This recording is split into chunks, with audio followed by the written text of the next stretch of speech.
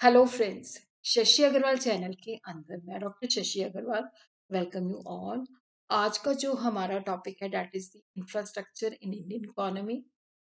जो कि काफ़ी सारी क्लासेस के लिए रेलिवेंट एंड इंपॉर्टेंट है। यूजीसी नेट के लिए इंपॉर्टेंट है। Competitive exam UPSC Indian economy sectoral development and policy in India के लिए इंपॉर्टेंट है। अगर आपको मेरा ये एफर्ट सही लगता है तो डू लाइक माय वीडियो इसको शेयर कीजिए और मेरे चैनल शशि अग्रवाल को सब्सक्राइब कीजिए। तो this is my app at is app जिसको आप गूगल प्ले स्टोर से बड़ी आसानी के साथ डाउनलोड कर सकते हो। ये जो ऐप है commerce economics and management students को काफ़ी सारा फ्री स्टडी मटेरियल और काफ़ी सारे फ्री मॉक टेस्ट प्रोवाइड करती है और उसी तरह काफ़ी सारे स्ट्रक्चर कोर्सेज भी अवेलेबल हैं। Indian economy sectoral development and policy in India micro economics micro economics manager economics public finance and development economics सबसे पहले हम देखते हैं कि जैसे हमें ह्यूमन बींग्स को चलाने के लिए प्रोटीन का कंजम्पशन वेरी मच नीडेड तो उसी तरह अगर हमने इकोनॉमी की ग्रोथ करनी है इकोनॉमी को डेवलप करना है तो इंफ्रास्ट्रक्चर जो है that is the lifeline of economy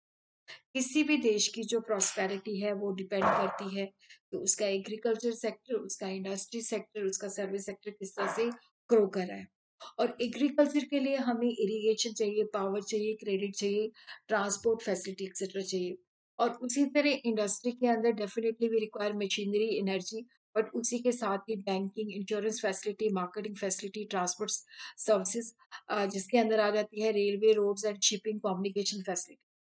industry और एग्रीकल्चर को डेवलप करने के लिए we require infrastructure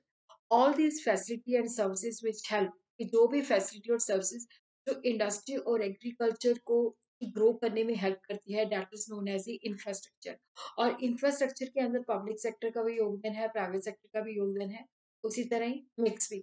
तो development and expansion of these facility are essential precondition for increasing agriculture and industrial production in a country अगर हमने देश के अंदर इंडस्ट्री का शेयर इंक्रीज करना है एग्रीकल्चर का शेयर करना है तो उसकी ग्रोथ करनी है तो वी रिक्वायर इंफ्रास्ट्रक्चर और गवर्नमेंट जो है इंफ्रास्ट्रक्चर के ऊपर बहुत ज़्यादा फोकस करती है पर स्टिल जितनी इकोनॉमी की रिक्वायरमेंट है, उतना इंफ्रास्ट्रक्चर के ऊपर डेवलपमेंट नहीं हो पाती। इंफ्रास्ट्रक्चर को हम इस तरह से डिफाइन कर सकते हैं the goods and services usually requiring huge investment considered essential for proper function of economy is called the infrastructure कि वो goods and services जिसके अंदर बहुत ज़्यादा investment चाहिए होती है ताकि economy की smooth functioning हो सके तो is known as the infrastructure generally major जो sectors हैं जो पूरे वर्ल्ड के अंदर है power transport and communication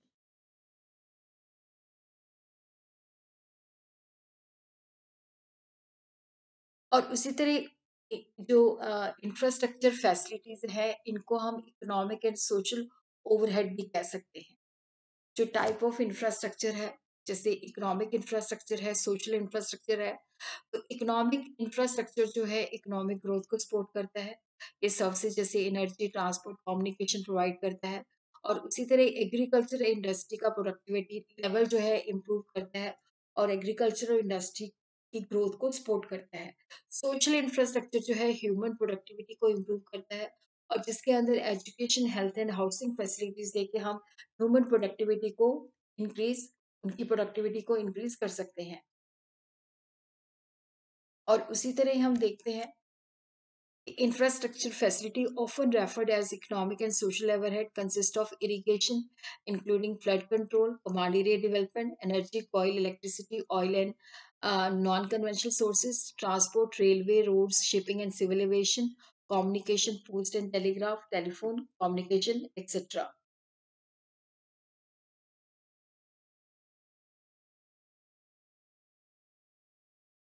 और उसी तरह हम देखते हैं banking finance insurance science and technology social overheads health hygiene and education अगर हम बात करें तो अगर इंडिया जो है उसका पोजीशन जो है टेंथ है world wide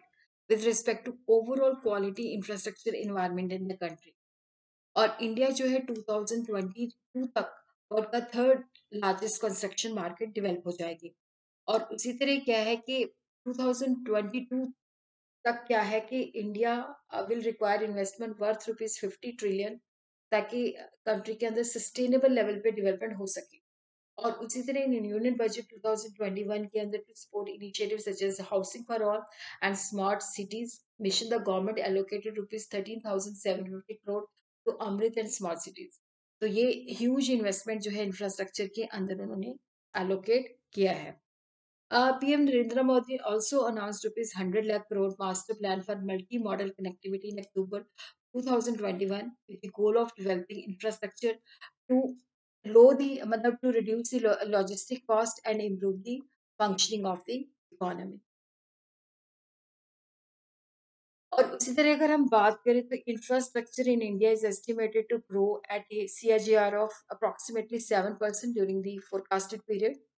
और उसी तरह गवर्नमेंट जो है 2024 एंड 25 तक 102 लाख करोड़ जो है इंफ्रास्ट्रक्चर के ऊपर इन्वेस्ट करेगी और उसी तरह ही five year long national infrastructure pipeline will enter it second year financial year 21 during which इसके अंदर जो है one one lakh nine fifty उन्नीस लाख पचास हज़ार तीन सौ सतानवे करोड़ जो है उसके ऊपर इन्वेस्ट किया जाएगा। About nineteen point five lakh crore has budget during as a part of a national infrastructure और उसी तरह urban infrastructure road transport energy railway account for about 70 percent of the allocation in 2020 और उसी तरह क्या है कि 40 परसेंट जो है इसके अंदर काम हो चुका है during the physical year 2020 to 25 sectors energy 24 percent roads 19 percent urban 16%, railway 13%, amount to around 70% of the projected capital expenditure in infrastructure. Infrastructure जो है that is very much needed for the development of the economy. क्योंकि infrastructure के बिना economy grow नहीं कर सकती। तो what are the characteristics what are the features of the infrastructure sector sometimes जैसे रेलवे के अंदर नेचुरल मोनोपली है पहले एविएशन और टेलीकॉम सेक्टर के अंदर भी होती थी। अ, इस सेक्टर के अंदर सम कॉस्ट बहुत हाई होती है क्योंकि अगर हम इन्वेस्टमेंट करते हैं तो जब फर्म बिज़नेस से बाहर चली जाती है तो उस कॉस्ट को रिकवर नहीं कर सकती। जैसे एयरपोर्ट क्लोज डाउन हो जाता है तो उसी तरह क्या होता है कि air strips asphalt will have little और नो वैल्यू और उसी तरह आउटपुट जो है वो नॉन ट्रेडेबल होता है। जैसे रोड ब्रिज एयरपोर्ट को एक बार हमने कंस्ट्रक्ट कर दिया, जहाँ पे कंस्ट्रक्ट कर दिया, उसको दूसरी जगह पे जैसे हम फ्रूट है या वेजिटेबल है या मूवेबल चीज़ों को एक जगह से दूसरी जगह लेके जा सकते हैं बट उसको नहीं लेके जा सकते। और कई बार ये इंटेंजिबल नेचर में भी होता है, जैसे इलेक्ट्रिसिटी को हम टच नहीं कर सकते। और कंजम्पशन जो होती है नॉन ड्राइवल नेचर एक व्यक्ति अगर रोड यूज़ कर रहा है या ब्रिज यूज़ कर रहा है या स्ट्रीट लाइट यूज़ कर रहा है तो ये नहीं है कि दूसरा व्यक्ति उसको नहीं यूज़ कर सकता। और उसी तरह क्या होता है कि जैसे वो कोई व्यक्ति ने टैक्स नहीं पे किया या यूज़र फे नहीं पे की तो उसको हम ये नहीं कहते कि तुझे रोड पे चलने नहीं देंगे या तू स्ट्रीट लाइट के अंदर काम नहीं कर सकता। और उसी तरह जब इंफ्रास्ट्रक्चर डेवलप होता है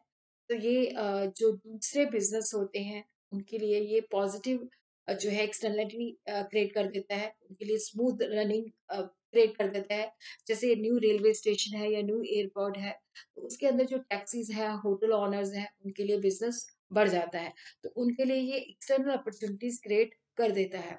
और उसी तरह हम देखते हैं कि sectors granted infrastructure stated by finance ministry, department of economic affair, roads and bridges, post, shipyard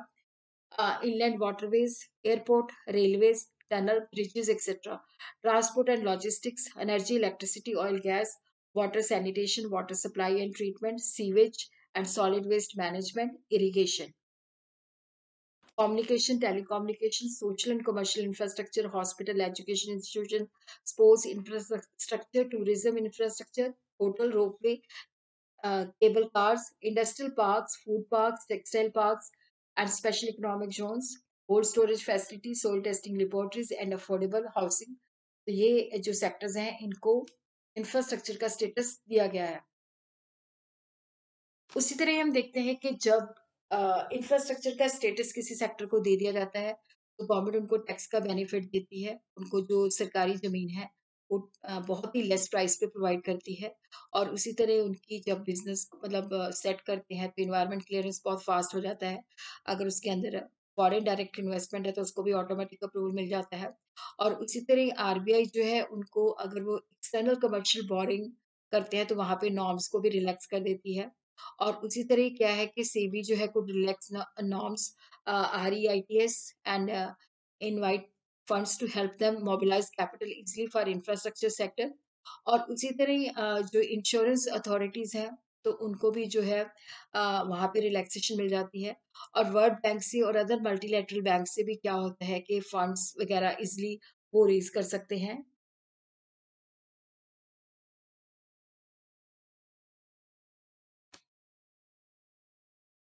तो अब हम देखते हैं कि different sectors of infrastructure in Indian economy तो यहाँ पे जस्ट एक ओवरव्यू है इसके ऊपर मैं अलग से वीडियो डालूँगी। एनर्जी पावर या electricity is an important factor of infrastructure जो कि कंट्री की इकोनॉमिक ग्रोथ को बहुत ज़्यादा इफ़ेक्ट करता है। और जिसके अंदर ये, ये एक सिंगल कंस्ट्रेन है अगर ये नहीं हो तो इकोनॉमी ग्रो बिल्कुल नहीं करेगी। इंडिया जो है major energy producer and energy consumer है। India is world fifth largest electricity producer with Maharashtra leading the way among Indian states in terms of the energy generation. Uh, अगर हम बात करें इकोनॉमिक ग्रोथ की उसी तरह क्या है कि एनर्जी uh, जैसे जैसे पर कैपिटा इनकम इंक्रीज होती है तो पर कैपिटा कंजम्पशन भी बढ़ती जाती है Some energy sector challenges are fuel security concerns, transmission distribution losses, uh, financial health of state distribution, electricity distribution companies, and interstate disputes. और उसी तरह अगर हम बात करें हेल्थ सेक्टर की तो it is estimated Indian health sector will be worth uh, 280 uh, US dollar billion by 2020. Hospital, medical tourist, health insurance, medical equipment, telemedicines, outsourcing, clinical trials, medical gadgets are parts of India's healthcare industry. और India का जो health care sector has made considerably progress in terms of health indicator but अभी भी इसके अंदर क्या है कि डिलीवरी के अंदर कुछ ना कुछ शॉर्ट कमिंग्स रहती हैं। और उसी तरह अगर हम बात करें एजुकेशन सेक्टर की तो यहाँ पे भी क्या है the objective of education sector to develop rational and scientific thinking developing science and technology जिससे क्या है कि हम सोसाइटी uh, को बहुत ज़्यादा बेनिफिट प्रोवाइड कर सकते हैं। और एजुकेशन सेक्टर जो है तेज़ी के साथ ग्रो कर रहा है। और गवर्नमेंट जो है उसके अंदर बहुत सारे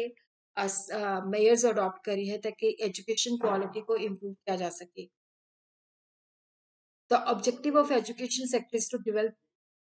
मतलब इसके अंदर क्या है कि रैशनल और साइंटिफिक थिंकिंग को डेवलप करना है और प्राइमरी एजुकेशन जो है बहुत ज़्यादा पॉपुलर हो रहा है। रोड सेक्टर के अंदर India has the world second largest road network with total length of 6.4 million kilometres जिसके अंदर national state highways urban and rural routes भी आ जाती हैं। और अगर हम बात करें तो 85 परसेंट ऑफ़ पीपल और 70 परसेंट ऑफ़ फ्रेट ट्रैफ़िक जो हाईवेज कैरी ऑन करते हैं। और रोड्स को हम national highways for the purpose of construction and maintenance classify कर सकते हैं। और अगर हम रेलवे की बात करें तो Indian railway is the country's life line तो ये पैसेंजर और फ्रेट को एक जगह से दूसरी जगह नहीं लेके जाती मतलब चीज़ों को एक जगह से दूसरी जगह मतलब लेकर तो जाती है। सोशल वेलफेयर ऑर्गेनाइजेशन भी है और ये मतलब ये पूरे इंडिया के अंदर स्प्रेड ओवर है। और अगर हम बात करें तो इंडियन रेलवे ने काम जो शुरू किया था, सिक्सटीन अप्रैल 1853 में किया था और इंडियन रेलवे जो है वर्ल्ड की फोर्थेस्ट लॉन्गेस्ट रेलवे नेटवर्क है, सिंगल कंट्रोल के अंदर है और सेकेंड लार्जेस्ट इन एशिया है। और उसी तरह Indian railway is one of the largest network in the world one lakh basically यहाँ पे one lakh twenty three two thirty six kilometre with 13,452 passenger trains and 9141 freight trains जो कि 23 million passengers और three million ton of freight को daily मतलब 7349 stop से उठाती है। और रेलवे को अगर हम बात करें तो लाइफ लाइन ऑफ़ इंडिया भी है। और ये चीज़ों को भी ट्रांसपोर्ट करती है और लोगों को भी ट्रांसपोर्ट करती है। एयरपोर्ट की अगर हम बात करें तो first airport in India was the Mumbai west Juhu aerodrome. Government of India ने पहला जो एयरपोर्ट था 1920 के अंदर मुंबई एंड कलकत्ता के अंदर एस्टेब्लिश एग्री हुआ था। uh, उसी तरह सिविल एविएशन के अंदर काम 1924-25 को शुरू हो गया था। But progress was limited until the world war second broke तो अगर हम जून 2020 को देखें तो 153 एयरपोर्ट्स हैं जिसके अंदर uh, 114 जो है एयरपोर्ट uh, जो है they are utilize for domestic flights और अगर हम बेसिकली uh, बात करें कि ये जो एयरपोर्ट है that is own by the airport authority of India और state in which they are located और दे आर प्राइटली ओन और a part of part of joint venture और उसी तरह by 2020 India is expected to the world's third largest aviation market अगर हम बात करें तो जीडीपी के अंदर 2026 के अंदर इसका जो शेयर है यूएस डॉलर 423.7 बिलियन चला जाएगा। Like it will contribute 423.7 billion US dollar to the GDP by 2026. उसी तरह अगर हम पोर्ट्स की बात करें तो that is also essential India का कोस्ट लाइन जो है that is approximately seventy five hundred kilometre long ninety percent of India's external trade जो है हैंडल किया जाता है और सेवेंटी परसेंट वैल्यू के हिसाब से। और इंडिया के कोस्ट पे there are twelve major ports and two zero five minor ports logistics जो है development of the logistic sector is also extremely important for the Indian economy as it will boost export trade stop and